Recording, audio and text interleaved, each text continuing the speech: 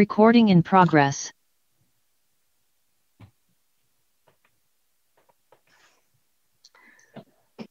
Welcome to our Noon Knowledge today, and thanks for joining us. Uh, my name is Sandy Ratliff. I am with Virginia Community Capital, and I am happy to be partnering with a number of really cool organizations in uh, in the Washington County area. One is the uh, Virginia Highland Small Business Incubator, uh, which is a great place to be. Had offices there a number of years. The Washington County Chamber of Commerce and the town of Abingdon. It's hard to believe that we started this program in 2014 and it's continuing to uh, train um, entrepreneurs not only in Washington County but throughout Virginia and East Tennessee. Uh, just um, a little blurb to let you know that today's session is being recorded uh, for training and, and, educational purposes, but it will be available um, after the session on the Virginia Highland Small Business Incubators Facebook page. And then we have a Noon Knowledge um, channel that is called youtube.com forward slash noon knowledge. And you can find probably close to 175 uh, videos up there that we've done over the, the years. You will probably notice that we have everyone muted and their video off, but we I know that our um, presenters want to know questions from you. So if you will post those in the Q&A section or as in chat, they will address those at the end of the session. Um, I just, I'm before I turn it over to Kathy, I just want to say a few things to um, about Tourism Corporation and how good they've been uh, to Southwest Virginia. I know when I have worked over the years, I've probably been working with Steve for 15, 20 years. I started in uh, kindergarten uh, working with uh, his team, and we were doing the Entrepreneur Express program, which I'm hoping that we're going to be bringing that back this year. But uh, you know, Steve uh, is the planning and partnership director, but Steve is no stranger to Southwest Virginia. He's uh, from the region, has uh, worked in the region, and I say that we have a special place in his heart uh, to help uh, our business community get started in tourism. And Steve is also joined by Caitlin Johnson today, who's Director of Operations and Industry Initiatives. And um, I can't tell you how much I appreciate you all taking the time to come today. And I'm going to let Kathy say a few words, turn it over to you all. Well, I don't think I can say much more. Steve uh, was the uh, tourism director for the town of Abingdon way back in the day. And so I think that's how I got to know Steve. I haven't haven't had the pleasure of meeting Caitlin, but but if if Steve has him as part of her team, I know that she is an exceptional uh, individual. So without further ado, Steve Galyean and Caitlin Johnson. All right. Well, thank you, Kathy and and and uh, Sandy. It is a pleasure to be here. Uh, great to see the uh, incubator offices. I've spent a lot of time there in the past, but it's my pleasure to join you today. As uh, Sandy said, I am the planning and partnership director with Virginia Tourism Corporation, and and I am joined with uh, Caitlin Johnson. Caitlin. Hi, everyone. Caitlin Johnson, Director of Industry Initiatives with VTC. And we're excited to be here today to talk more about tourism businesses. Uh, why are they important, uh, what they are, how to start one, and most importantly, uh, we're going to give you some resources and some funding uh, uh, hints as we go forward. So, uh, do let me start with what is partnership marketing.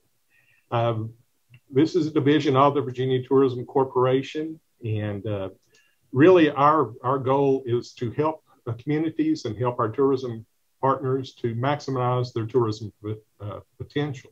We do that through strategic tourism planning, uh, tourism business development, and cooperative partnership marketing opportunities. And yes, we want the tra- travelers travelers to come here and experience our state, but it is a given that, but it is not a given that they will come. So just like any business at VTC, we must market ourselves, evaluate our assets, look at our competition, and find voids that uh, that we can improve to make that ex- visitor experience even better. But before we get into the how of starting a tourism business, uh, we're going to be talking a little bit about the why. But before we get to that, we got to talk and acknowledge this little beast.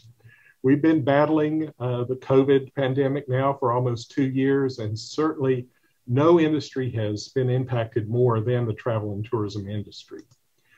We were on a good projection over the past several years of seeing steady growth in the travel expenditures in Virginia. We were up close to $27 billion. And then, of course, 2020 came along. And uh, in the year 2020, we saw about a 30% decrease in those travel and tourism expenditures. And, and so, obviously, uh, uh, it was a, a, big hit for our industry. But the good thing is that uh, here you see a graphic that shows kind of the anatomy of the recovery. We're in that final recovery stage where the, we're beginning to see international travel come back and that large events are, are taking uh, place.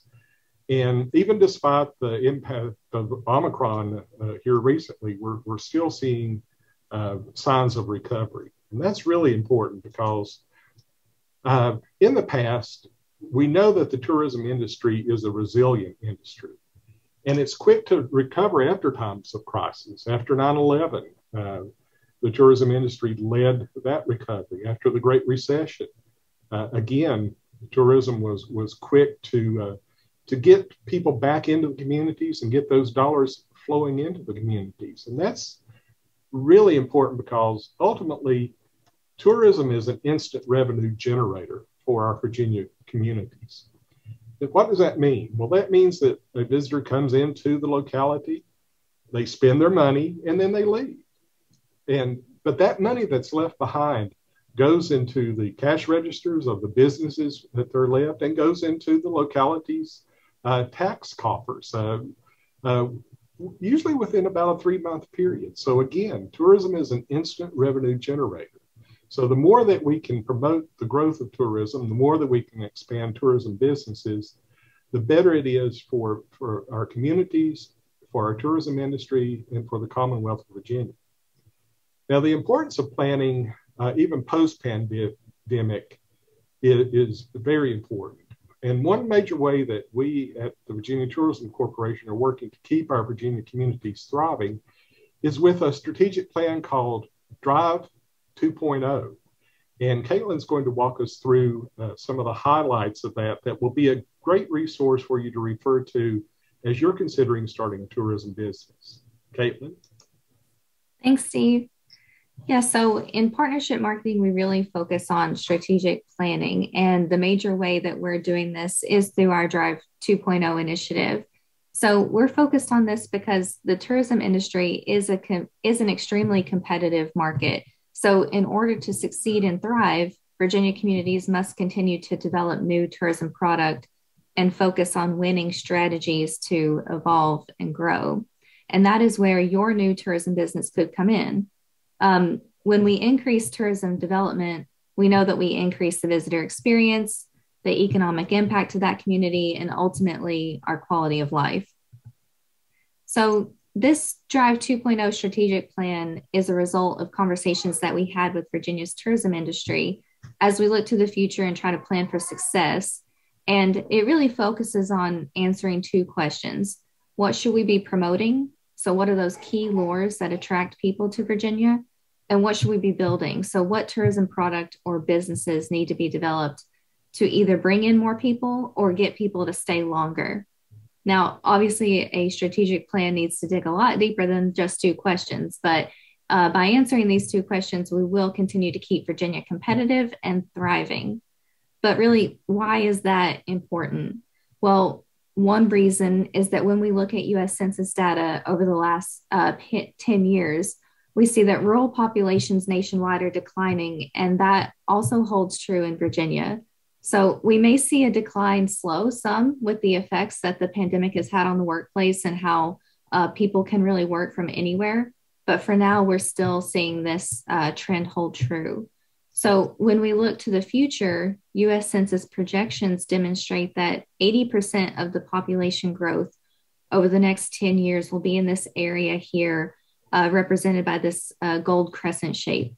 Um, this is great for those communities that are in that in that area but what about the areas that are seeing a decline So, this is why it's so important to focus intentionally on helping build and promote vibrant communities. And we hope to focus on cultivating entrepreneurs to help communities thrive, even in this shifting landscape. So, why tourism? How's that going to um, help communities that are seeing a decline in population? Well, Longwoods, Inter- Longwoods International Research Team shows that when you invest in tourism, you're also powering economic development. So their research developed and termed what they call the halo effect, which shows that when a destination is deemed as a good place to visit, it's likely also seen as a good place to live, and then a good place to work, and also a possible good place to start a business.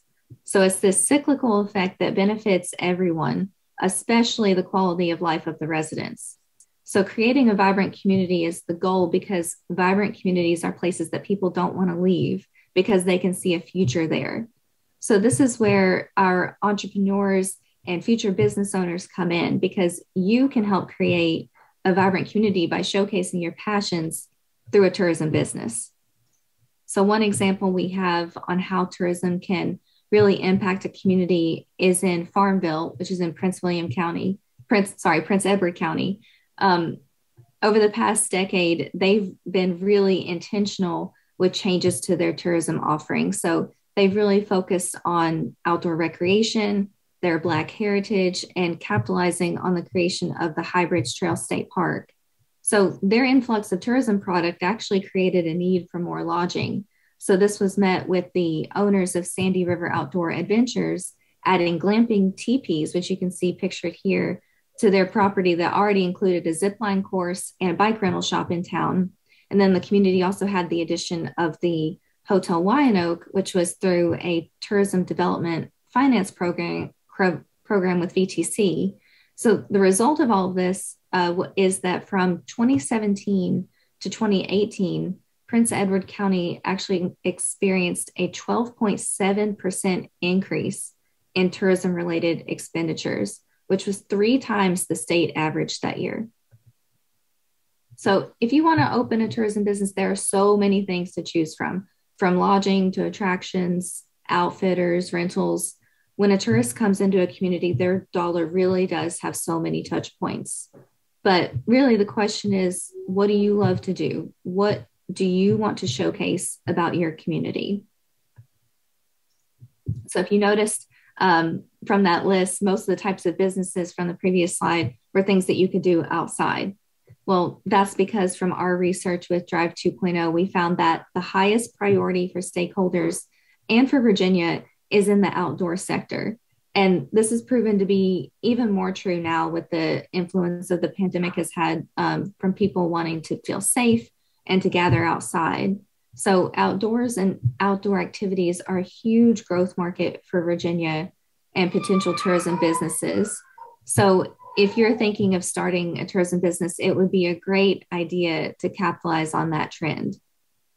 So, we're going to talk a little more about this idea of tying your business to something uh, that is already doing well. And this is illustrated here in this diagram for Blue Ridge Highlands from our Drive 2.0 research.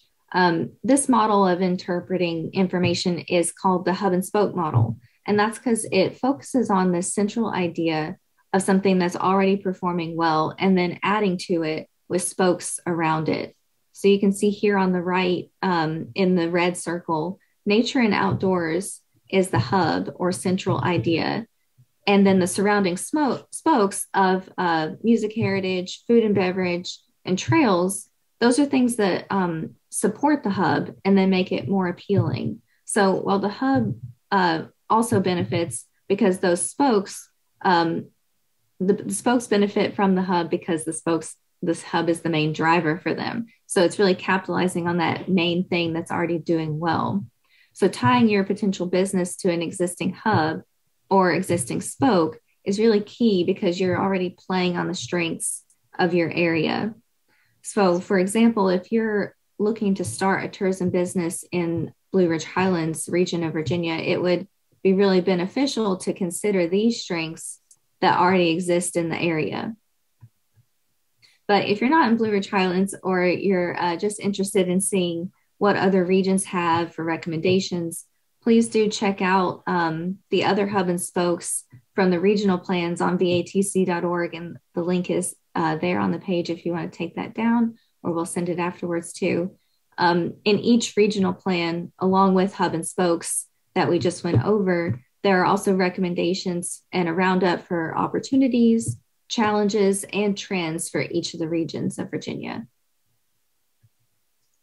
So, our Drive 2.0 statewide tourism plan really does come down to these strategic imperatives, and they center on promotional efforts by identifying and telling unique stories, and product development through building great experiences. So, like I mentioned before, we really set out to answer those two questions about promotion and development. But then we decided that our plan really could use a little more, which is why we developed this third strategic imperative centered around growth and impact and providing unparalleled support for our tourism industry. So, the result is the development of five how to guides. And these how to guides are going to be the framework today to discuss how to start a tourism business. So, first, um, this Tell and Sell Your Story guide is all about identifying your unique story and explore the ways to share that with the world. So, crafting your story starts by determining what is truly sets you apart. For potential travelers and customers to your business, they want to know who you are, what you offer, and why they should come there over somewhere else. So, to get a flavor of what this guide entails, we're going to highlight one section of the guide in particular, which is that um, called the seven key questions to tell your story. So, these questions are great starting off point, not only just for business development, but pretty much for anything new that you're going to embark on. We highly recommend going through these questions when thinking about planning your business. So, to develop your plan, we suggest first off answering who are you? It's about identifying what's believable, what's important, and what's differentiating about your business. And if your business is showcasing your locality, then you can also identify what's important to your community too. So then you want to answer what are you trying to accomplish? You want to establish SMART goals, which means that you want them to be specific, measurable, achievable, realistic, and time bound. And then you want to answer who can make that happen. You want to identify your target audience. You want to ask yourselves what message will move people to action. So, how do you get your audience to actually engage with you? Then, what channel or vehicle will deliver that message best? And then, what resources do you have? You want to identify partnerships that you can leverage in order to get your message out there. And again, VTC is a great resource here with things like MLP and co op programs. And Steve's going to talk more about those resources in a little bit. And then finally, um, how will you know if you're successful? Well, remember back to the SMART goals that the M means measurable. So this is where you look to track your KPIs and what you need to do to hold yourself accountable. And ultimately, that is how you're going to show if you are successful or not. So, in our second guide uh, for enhanced experiences, it really focuses on that shifting landscape of destination marketing organizations shifting to more of a destination management.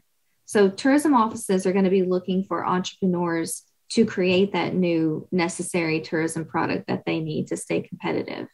So, when you make your way through this guide, think not only what are your business's immediate needs, but what are some gaps in the community that maybe your business could help fill? So, but how will filling these gaps leverage what you hope to do in the community? Well, that's because, like we said, enhancing the community experience is what leads to a better vibrancy and a better quality of life, especially for the community residents. And in our third guide, recruiting partners, um, this one is going to help you more fully appreciate and leverage your greatest asset, which is partnerships. Um, no business can succeed alone. Attractions need lodging, lodging needs nearby restaurants, restaurants need attractions and things to do. Tourism really does thrive in this symbiosis. So, this guide walks through um, mapping out and creating a list of your network which starts by identifying the players and potential partners in your community. Um, your number one partner really should be your uh, destination marketing office or your, your DMO. So prioritize your list based on your most important and most pressing needs. And then the guide walks you through best practices when looking for partnerships. And basically, in short, that means that remembering that the most effective partnerships really center around a shared focus or a mission that binds the parties together. So it's all about finding that common goal. Um, of, the, of all the challenges facing a tourism business, finding funding and other resources is typically at the top of this list. So in this guide, uh, we can explore an expanded view, um, including opportunities like traditional grants or innovative tourism zones that incentivize growth. So, with this new view, it's time to tap into more brain power. So, this is where you use that list of partners that you identified in Guide 3 because they may actually know of rocks to look under that you may not have considered before. So, the guide does include a, an extensive list of funding resources, some you may know, but others that might be new to you. And the, they might actually require partnerships that are new too. So then it comes to making the right ask. This section really underscores the importance of strategic alignment with the funding source and also walks through those um, best practices for grant writing, which Steve will also touch on in a little bit. So, making the case part of operating in the travel and tourism industry means not, have, not just having to sell yourself, but also um, selling your destination. So when it comes to making your case or advocating for yourself, most people just focus on the facts and expect those facts to just speak for themselves. But with this fifth guide, we're really focusing on what the most powerful story is for your key set of stakeholders. So numbers are important, but these facts alone are not necessarily what's going to get your stakeholders on your side. So, research from Destinations International actually says that it's all about finding that shared common value. It's about combining emotion with something that can't be argued. So, this guide is uh, really going to walk you through those uh, steps to help perfect your pitch and make your case. So, it starts by identifying key stakeholders that you want to influence. Then it's about identifying that story that resonates with each of them. And once you know your story, then you're able to come back and identify the right facts that back up that story. So now I just want to call out one section of this guide specifically, which is the importance of using the right language to craft that shared common value.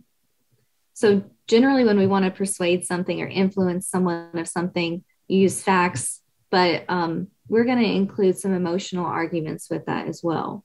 So Destinations International also has a lot of anecdotal and qualitative uh, research using the right words that really help make the best case for tourism. And they found that a simple word change can actually evoke a completely different emotion when talking with stakeholders. So we can see here that words like community, people, support, and service all resonate positively when speaking about tourism.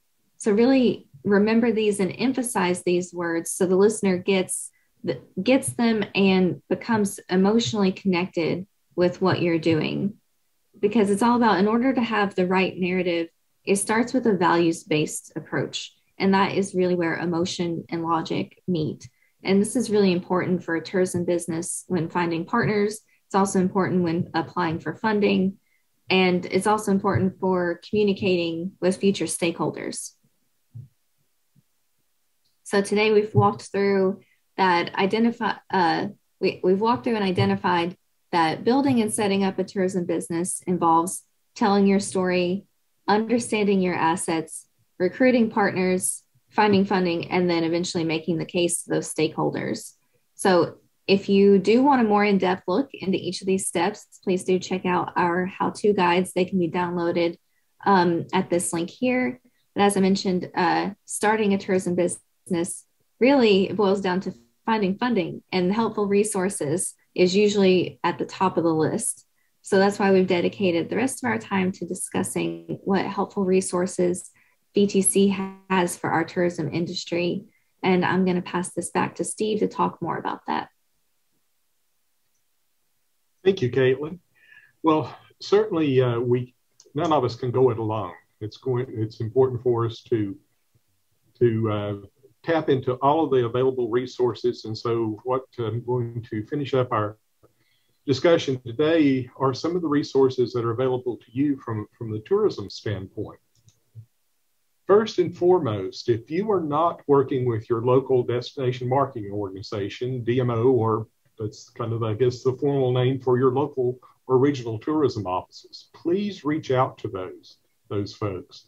They are a tremendous asset for you to, to uh, uh, provide information about your community, about setting up a business, uh, providing you research, uh, information about who's coming to the locality. And then also, uh, they're going to be very, very important partners in promoting your business. So again, reach out to, the, to those destination marketing organizations. Uh, the two regional organizations in Southwest are, are the Southwest Virginia uh, Cultural Heritage Foundation and Heart of Appalachia. You also have the Blue Ridge Travel Association. And then uh, Southwest Virginia probably has the highest concentration of active uh, destination marketing organizations in the state.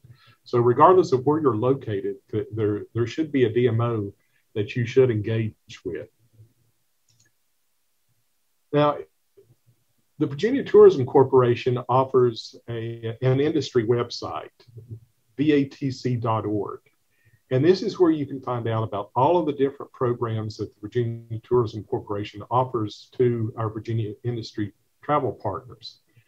Uh, and you'll notice that they're across the top, everything from marketing to grants to research uh, to partnership marketing. Uh, also, uh, in the essential section of that, you will be able to find out uh, uh, schedule for special meetings, such as our VTC orientation program, which is a great way for you to interact with the staff at Virginia Tourism Corporation.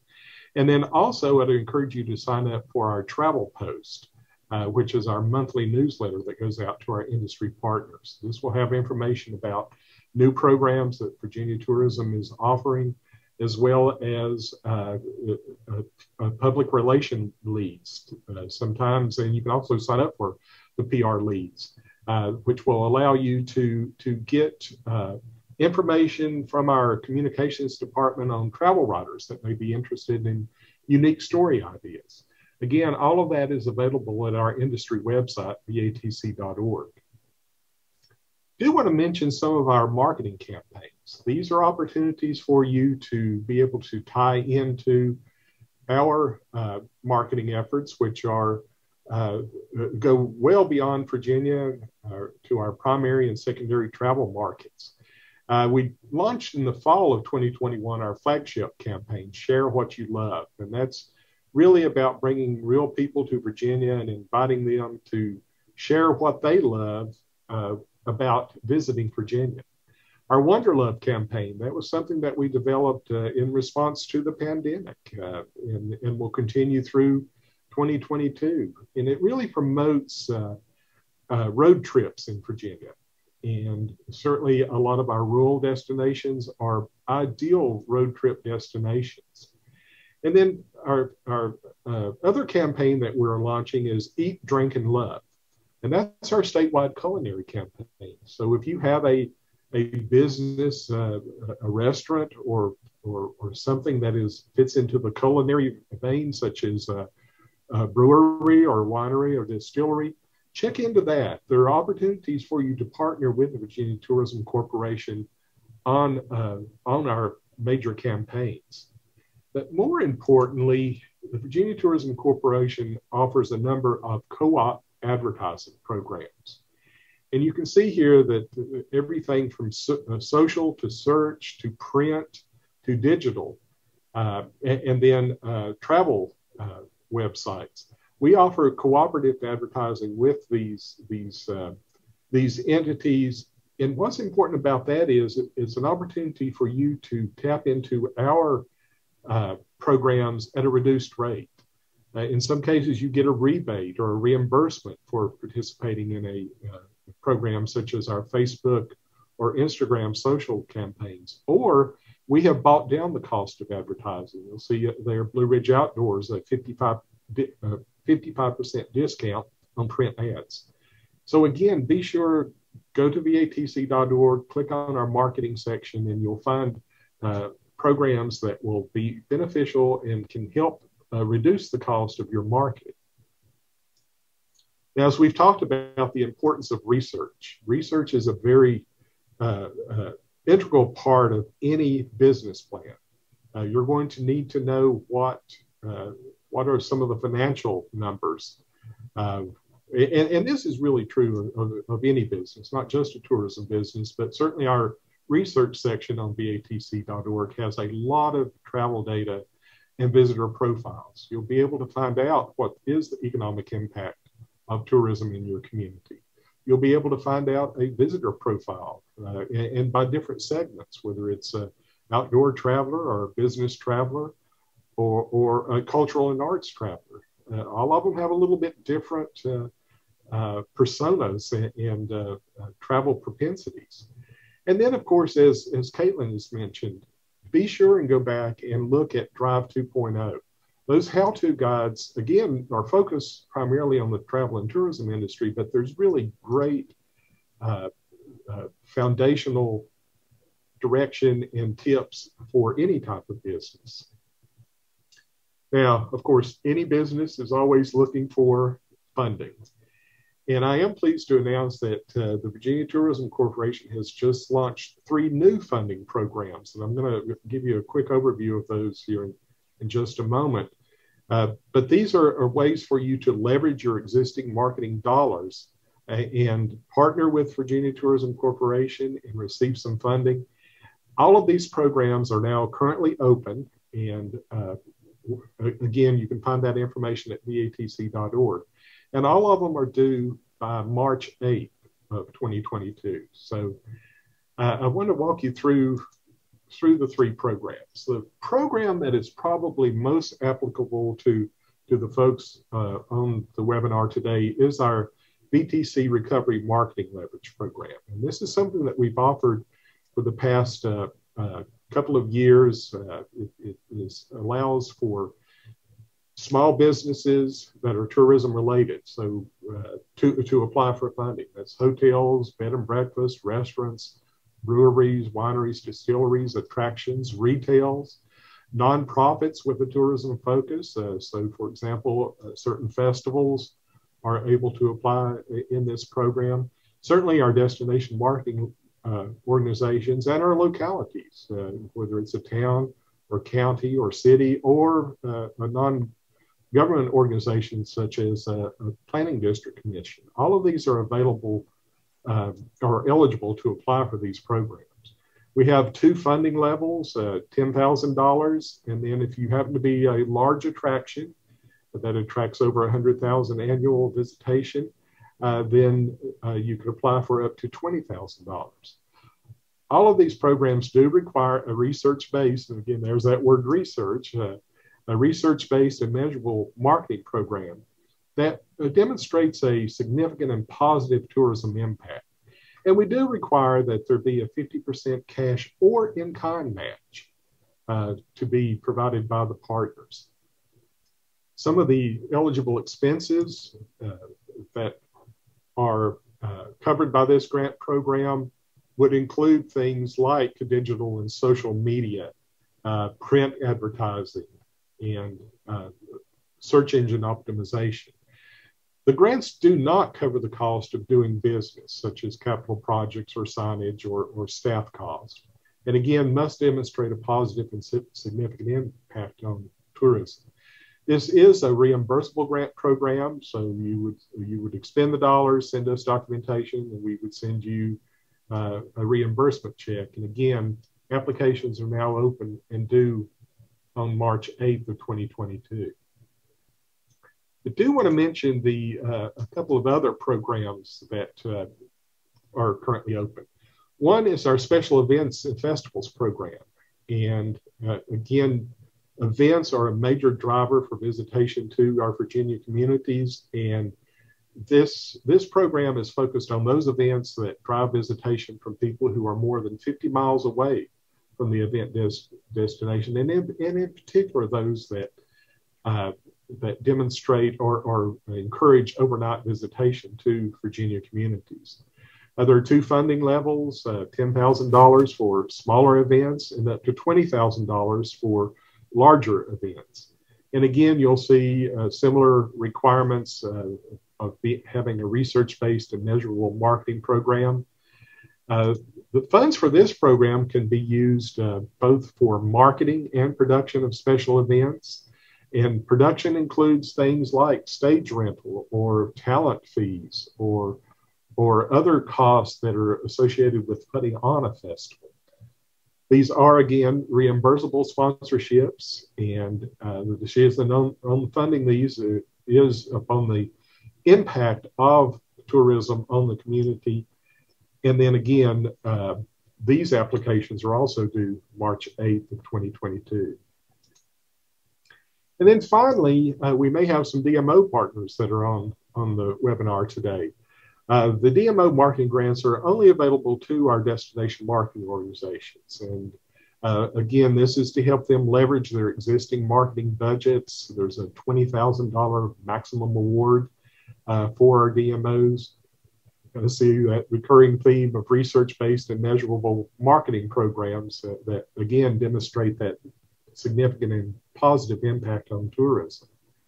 And also, again, you'll see that uh, the grants can cover mar- eligible marketing expenses, again, such as social media, uh, print advertising, uh, and uh, uh, search engine optimization, and again cannot cover the cost of doing business such as uh, staff salaries or capital projects.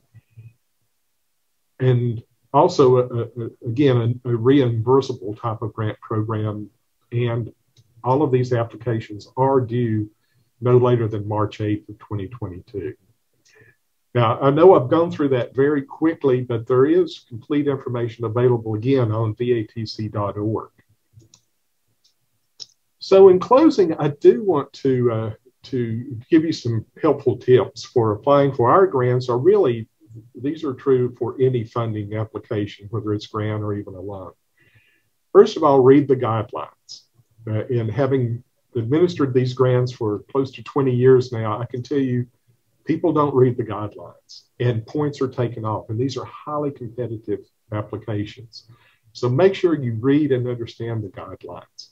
And, and, as you're reading those, begin gathering that required information, such as the research and financial data and the uh, baseline data, the KPIs, key performance indicators uh, that impact your program. So gather that information.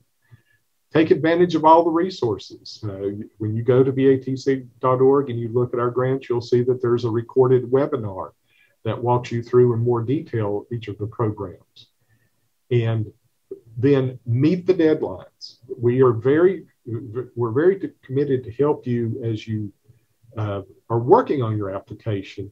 But the one thing we cannot do is extend the deadline. So in this case, that's the March 8th, 2022 by 5 p.m. So be sure that you meet that deadline. And again, I cannot stress how important it is to read those guidelines. And we are here to help you. Here on the screen, you'll see our contact information for Stacy Martin, who is our grants manager, and Angela Wiggins, who is our grant specialist. They will both be uh, uh, available to help you uh, with any questions uh, as you go along with your grant application or, or, or with other uh, of our Virginia Tourism Corporation uh, products. So with that, we thank you and we will be glad to answer any questions. Thanks, Steve and Caitlin. Um, we do have a question. Would a farmer's market fit into the Eat, Drink, and Love campaign? Yes, absolutely. Uh, that would be uh, uh, a great opportunity for you to tap into the uh, to that campaign. And in particular, uh, as most farmers markets do, they highlight that local flavor, the local product. Of a locality. So be sure and reach out to uh, both our, our brand department, Lindsay Norman, and again, that information will be available on vatc.org, as well as our communication department uh, uh, that will be able to share that information with them. Also would encourage you to look at our grant program. There, uh, we have received programs in the past from farmers markets uh, that uh, have a unique spin to increase visitation to uh, to their locality through uh, activities and products at the farmers market. Okay, another question: Do Airbnbs qualify under any of these programs? Yes, uh, uh, Airbnbs would be quali- uh, eligible to uh, promote on our uh, Virginia.org website and also would be uh, eligible to apply for our grant programs. The, the one word of caution there is make sure that you have the data that is needed to to to affect a good and strong application. Uh, and that that is things like past visitation, where your visitors are coming from, uh, any of uh, the revenue figures that will be used to measure the success of your program. Um, was that all your screens uh, or your um, slides? If so, uh, could you uh, take stop screen sharing? One thing too, Steve, I wanted to uh, mention is that you've got two uh, several staff people here in far Southwest Virginia. For those folks that are looking um, about starting a business or anything, um, Steve, I'll let you tell who these are and what they can help you do.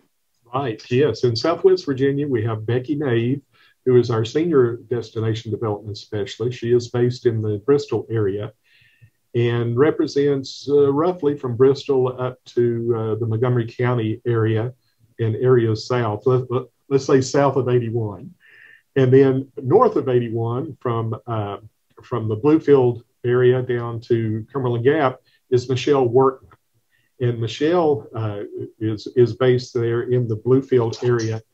Both of these folks are great resources for you to reach out to uh, to discuss your tourism business. Uh, and, and, they can be very helpful in connecting you to the Virginia Tourism Corporation uh, services and products, but also they know the local resources, uh, such as Virginia Community Capital, such as uh, the uh, incubators and other uh, other business assistance resources throughout the region. So be sure and reach out to them. And again, that information is available on our industry website, vatc.org. And I will say they keep up with um, local government uh, programs and regional programs that support, uh, like for example, in uh, far Southwest Virginia, where the um, Virginia Coalfield Economic Development Authority is at, they have some grant programs that are supporting um, uh, tourism-related businesses. So Becky and um, uh, Michelle can keep you up to date on what, what's going on. Actually, I think they would probably be a good first point of contact if this is something you're thinking about getting into.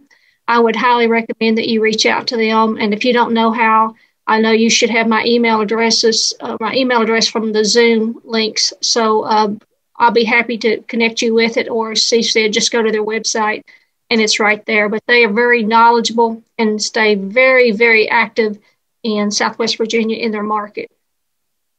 Yes.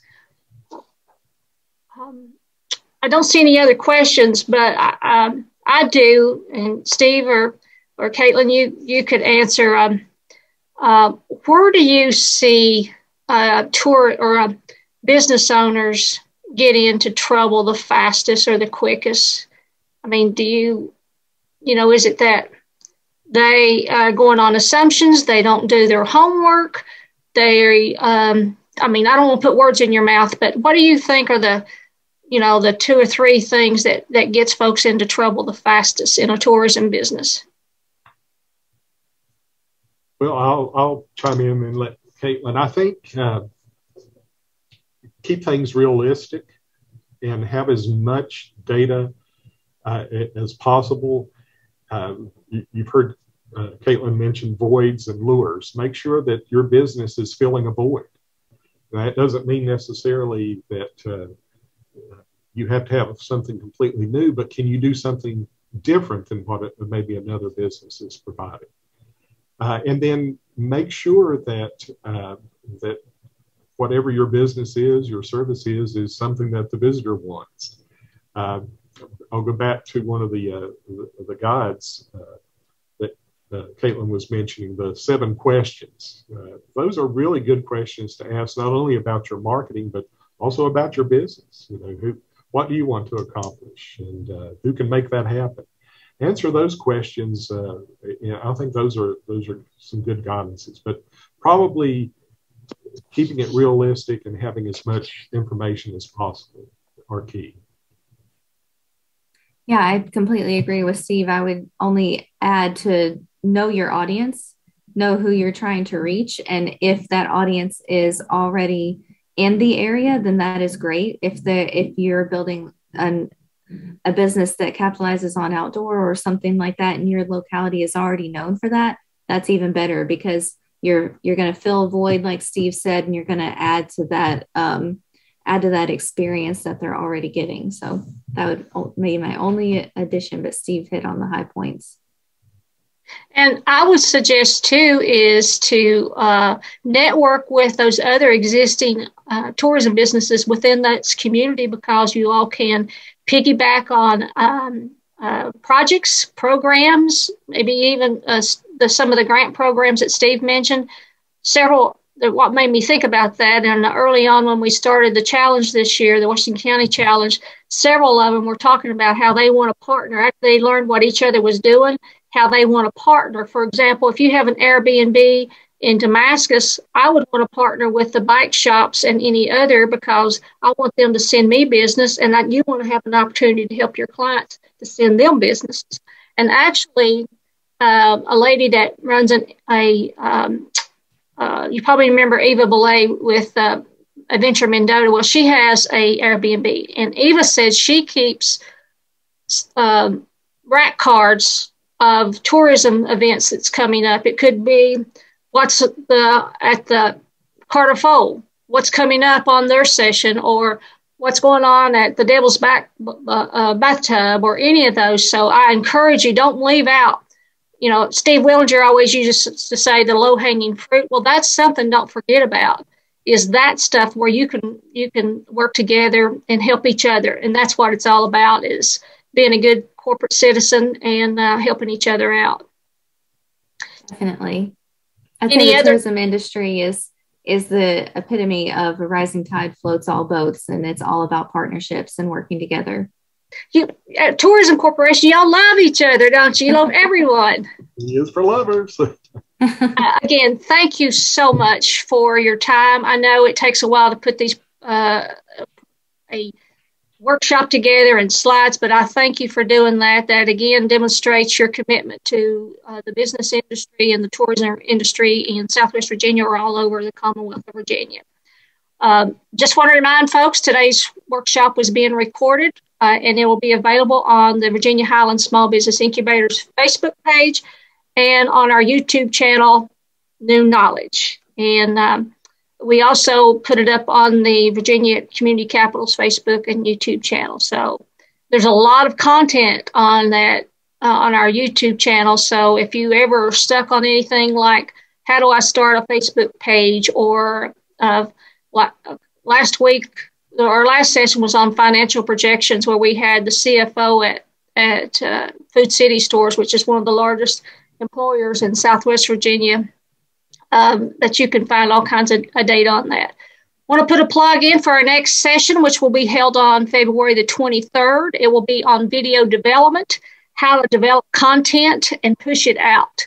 Which it's great. You know, we all have these phones, most of us carrying around, or we have the etch and sketch but that's a great opportunity for you to create a video, tell folks what's going on in your business, get the word out. Uh, I was doing a workshop a number of years ago in uh, Allegheny County, and someone was talking about where they've been posting some, and uh, and some didn't even think about YouTube, and they went and searched on YouTube, and people had been coming to their business, taking video and putting that putting it up on YouTube, and they didn't even know about that.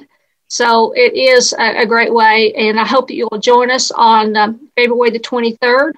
And again, if you got something out of this program today, share it, uh, the link with others, and so that they can uh, get this. So thanks again for coming, and um, be a blessing to someone today, folks. Take care. Bye bye.